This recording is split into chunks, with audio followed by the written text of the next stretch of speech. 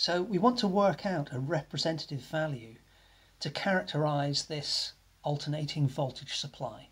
So I've just sketched out this graph so that it has a frequency of 50 hertz. That's the same as the mains electricity in the UK. I've set the peak value of the voltage to just be 1 volt, just to keep the mathematics a little bit simpler. So in this case, the equation of the graph is V is equal to sine of 100 pi t. So our first thought might be, well, the mean value would be a good way to characterize the voltage because we, we can't really characterize the peak voltage because that only happens for a little instant in time over one period. And as we can see, the voltage is changing the whole time. So maybe the mean would be a better way of doing things.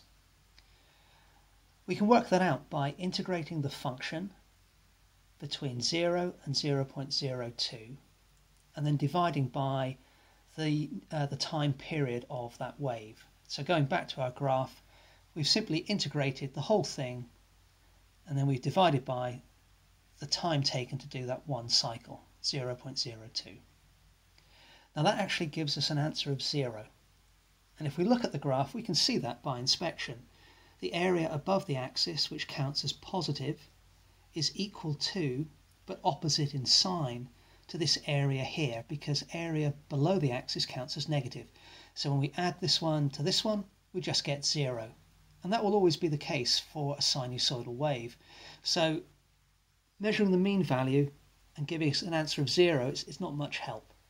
So how can we overcome this? Well, what we do is we square the top graph, and that gives us something like this. So now all of our values are positive. And if we work out the voltage mean square value, which is the same technique, but this time we've squared the sine wave, that gives us a value of a half. So what we've just worked out is the voltage mean square value is 0.5. But the unit, because we squared everything, is actually volts squared. Well, what does that mean? Well, it doesn't really mean anything in particular. So we have to account for that in some way. So what we do, whoops, what we do is if we square root the unit v squared, then that just takes us back to volts. And obviously volts is the thing we're interested in. That was the, the unit of the original graph.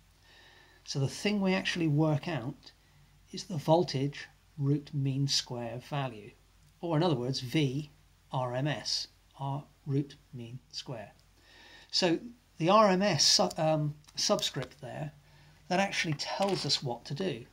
And we do it in reverse. So we do the square, then we work out the mean, and then we square root it. So to work out VRMS, we take the voltage equation, and typically you'd have a number in front here, but the technique is still the same. You're going to square that. Okay, so if you had a number out the front here, you would need to square that as well. You integrate that between 0 and 0.02. You work out the mean by dividing by the time period. And then having done all of that, you square root it. Okay, so that's how you work out the root mean square voltage. Now we've already worked out that the mean square voltage, the bit in the square root, is equal to a half. So that's going to be equal to the square root of a half. Whoops, that didn't work very well. Equal to the square root of a half, which is 1 over root 2. Okay, so that went a bit messy there, but I'll just tidy up a little bit on the next page. So what we've just seen is the final result. I did a simplified version of this, but hopefully this will give you the idea the root mean square voltage is equal to the peak voltage divided by root 2.